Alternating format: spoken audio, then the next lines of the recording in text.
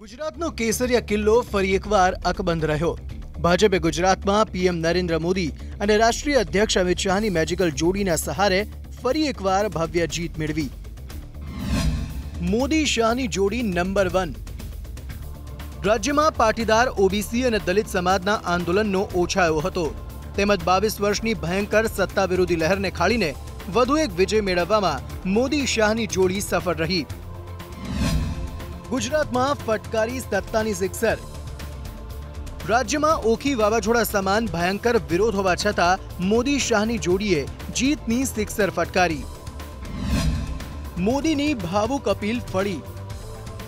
ગુજરાતમાં ચૂંટણી પ્રચાર દરમિયાન મોદીએ વારંવાર ભાવુક અપીલ કરી હતી અને ગુજરાત તેમજ કેન્દ્રમાં એક જ પક્ષની સરકાર હોય બેવડા લાભ થવાનું જણાવ્યું આ ભાવુક અપીલ કામ કરી ગઈ